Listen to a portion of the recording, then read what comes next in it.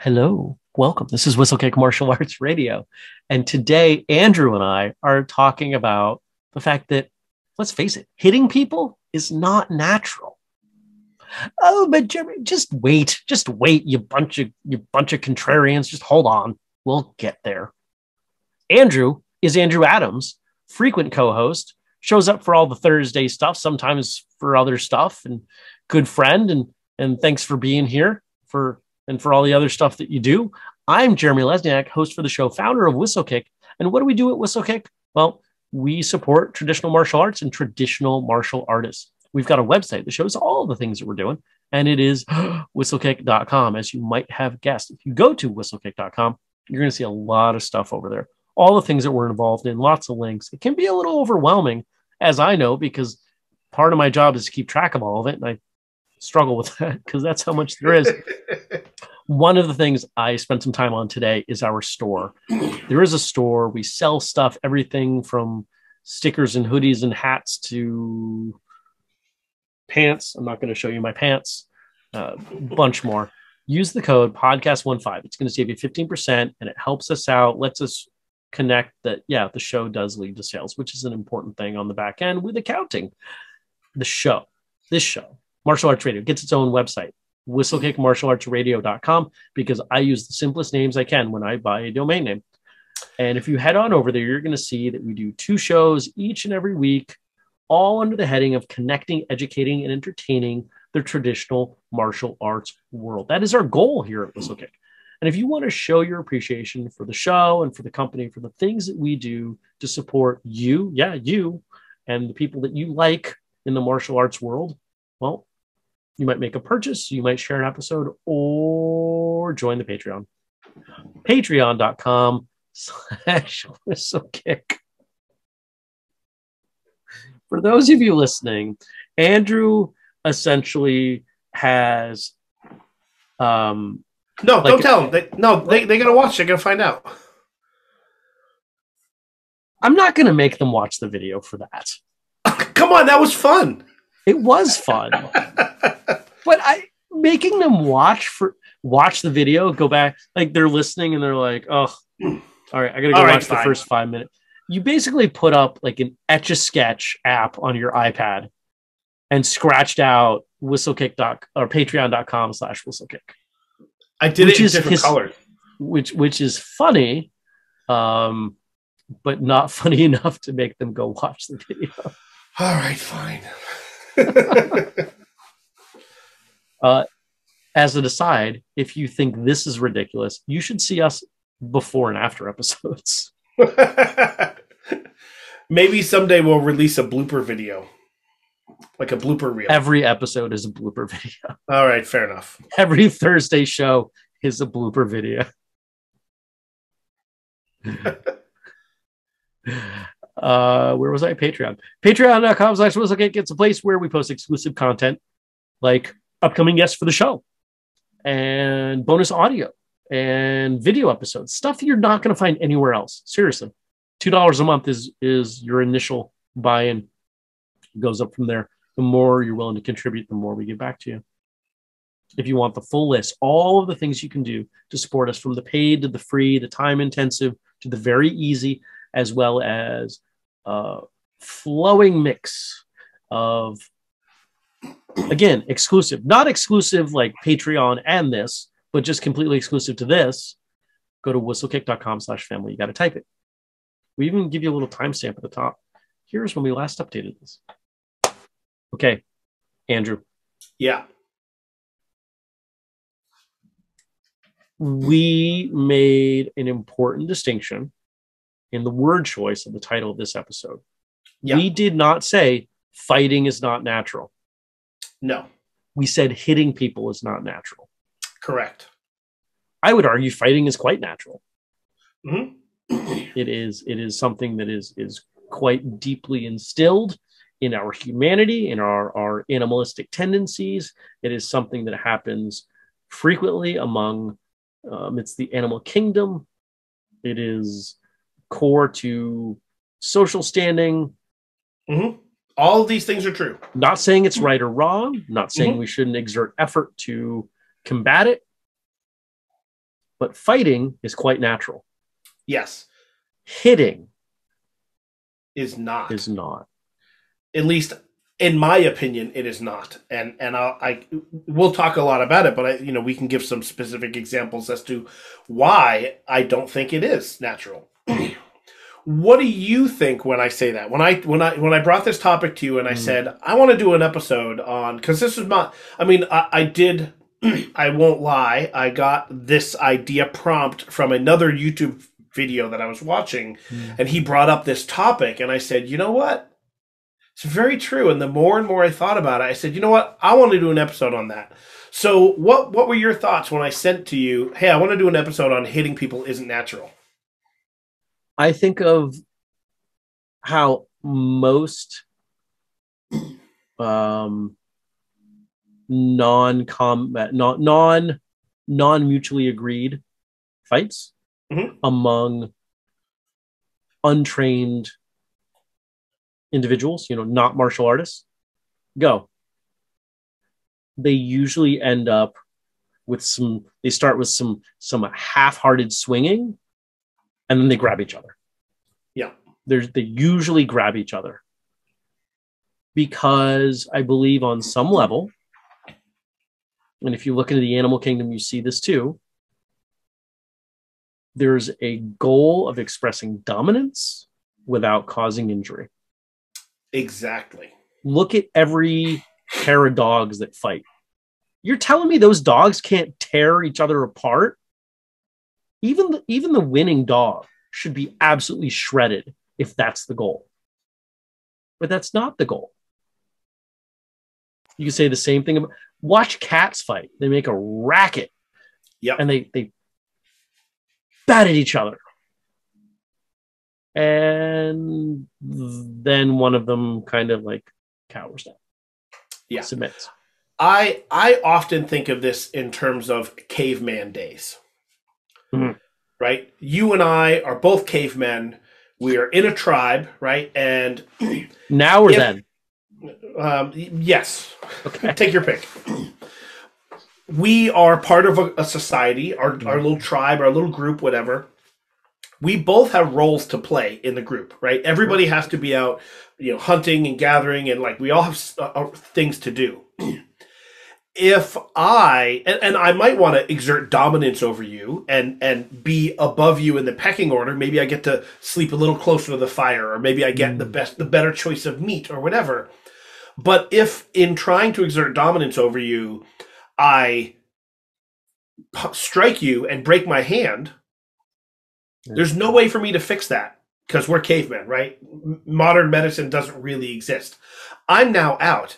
If in doing so, I'm striking you and I hurt you and maim you to the point that you can't function within the our tribe, our tribe is now out two people. Right. It's not natural. We we would never want to do that. I would want to exert my dominance over you in some other way. The Here's- only reason, let, let me extend what you're saying.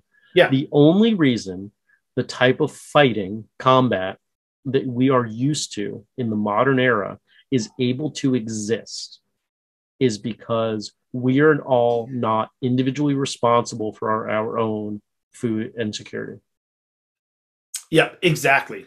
And if you take it even a little to, to more modern times, have you ever seen kids fight? Like little kids? Yes, but They're they're they're not like punching and kicking. They usually, like you said, they inevitably end up grabbing and rolling around on the ground because that's natural. Yeah. You know, we, you and I, if we were to get into a fight, we would be striking, we would be hitting, but that's because what we were trained to do. That's not what we're talking about.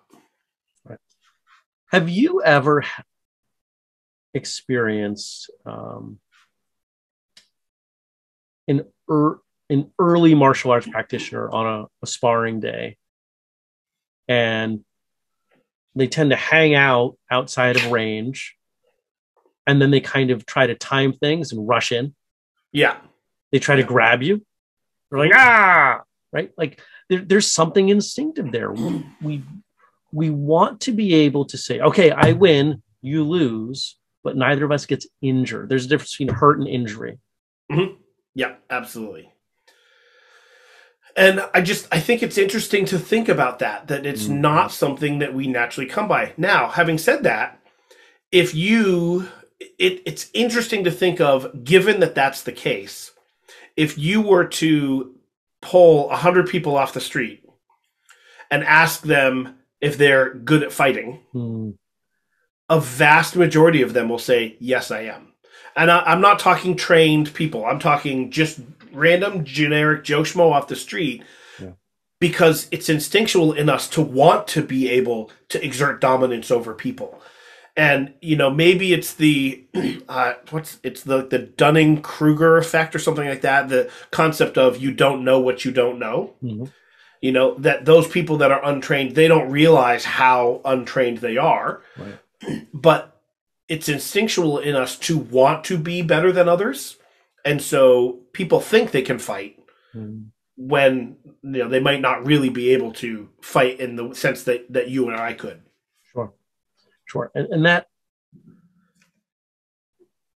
I, I I suspect this came up for you right around the time I was seeing some social media posts going around on this topic. The idea that way more people think they know how to fight than actually know how to fight.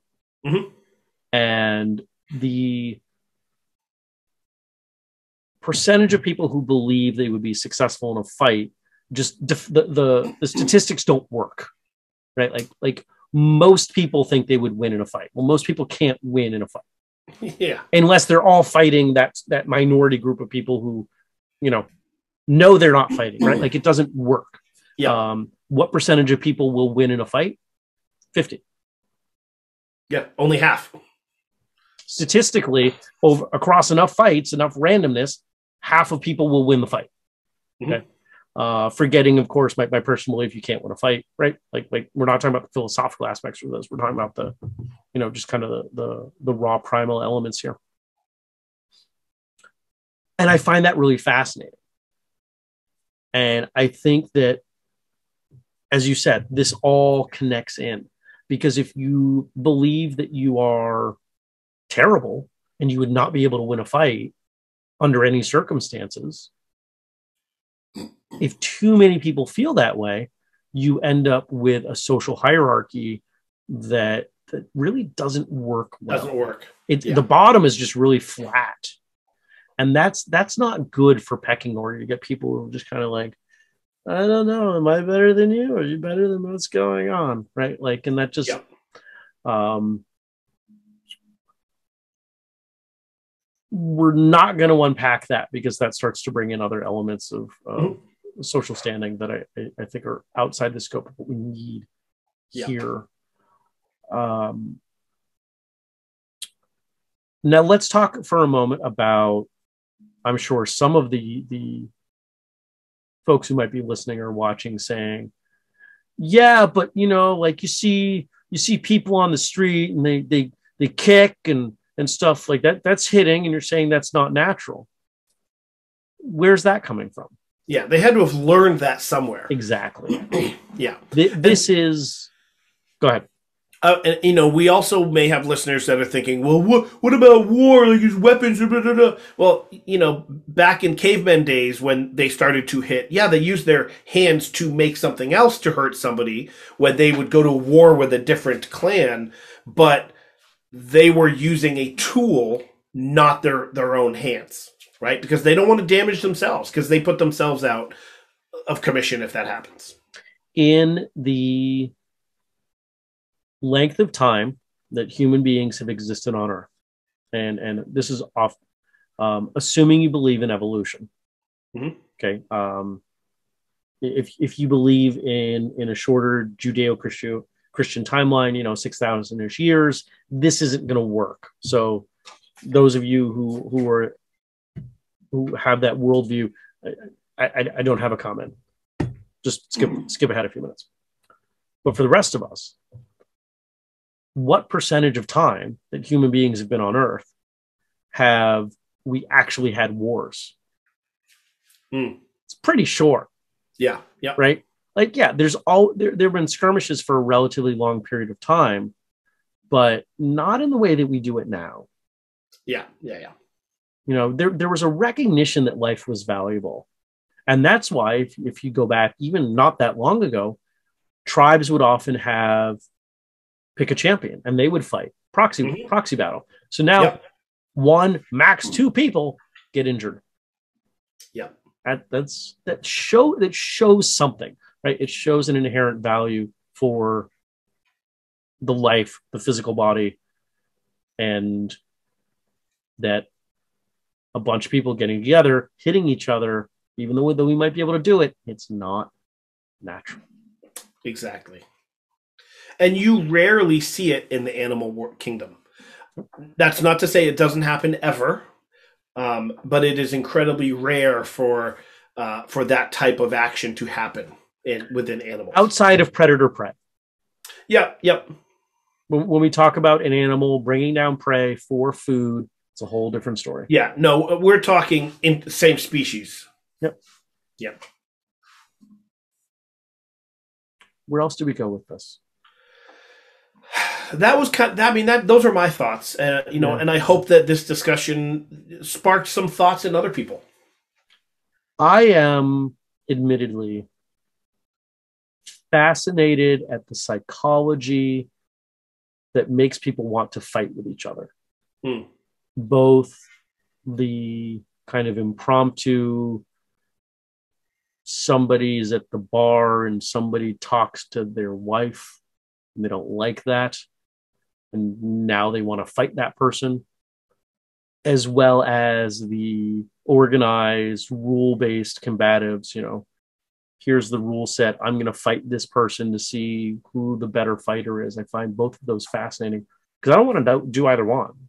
Yeah, yeah, neither one of those line up for me. The, the the latter a little bit more you know just as a martial artist because you know testing skill is interesting Mhm. um but you know i don't like getting punched in the face so let's not do that.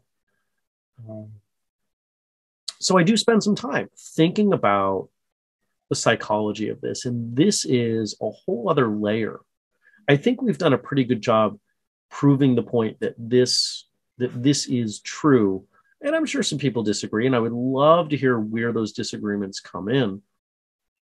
But i'm going to throw one more point of support in here. So many people who have never done martial arts gravitate towards what if they're going to train they want to do bjj yeah, yeah. now, this is not to say that Brazilian Jiu Jitsu curriculums are completely free of striking, but when they think about that sort of training, they're thinking about grappling. They're thinking about grabbing people and defending people, grabbing them. There's something that I think on a primal level resonates because they understand that is something that is frequent to happen. Mhm.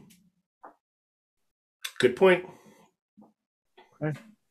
Feedback, criticism, expansion of ideas. We want to hear all of it. Bring it on. Email me, jeremy at whistlekick.com. Or, you know, if you want to tell Andrew how dumb I am, email him, andrew at whistlekickmartialartsradio.com. If you've got thoughts on subsequent topics or guest ideas for the show, you can email us as well. We want to hear from you. Head on over to whistlekickmartialartsradio.com. That's one of the several places you can sign up for our newsletter. We send them out occasionally. Some good stuff in there. Try to keep you up to date on what's going on with us, new products, things like that. And don't forget, you've got the code podcast15 to save 15% at, eh, on just about anything at whistlekick.com. I was going to do it without checking my notes, but I'm second guessing myself now. Uh, other things you can do to help us leave a review on Apple Podcasts, Google, Facebook, Spotify. Help out with our Patreon, patreon.com slash whistlekick. Interested in a seminar? I can come in, teach you some stuff. We can have a good time. The seminar that I teach, uh, those of you who have experienced know it's a lot of fun. It's kind of eye opening stuff that, to my knowledge, nobody else is teaching. And I think that yeah, we did it all. There's the there's the outro. So episode comes to a close. Until next time, train, Train hard, hard, smile, smile, and have a great have a day. great day.